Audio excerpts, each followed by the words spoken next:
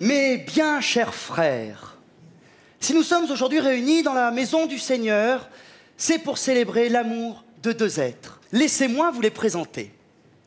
Jessica, 20 ans, et Yvon, 80 ans.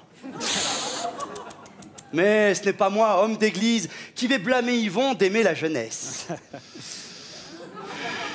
Alors, Jessica a choisi Yvon par amour, par passion, par nécrophilie, on ne sait pas.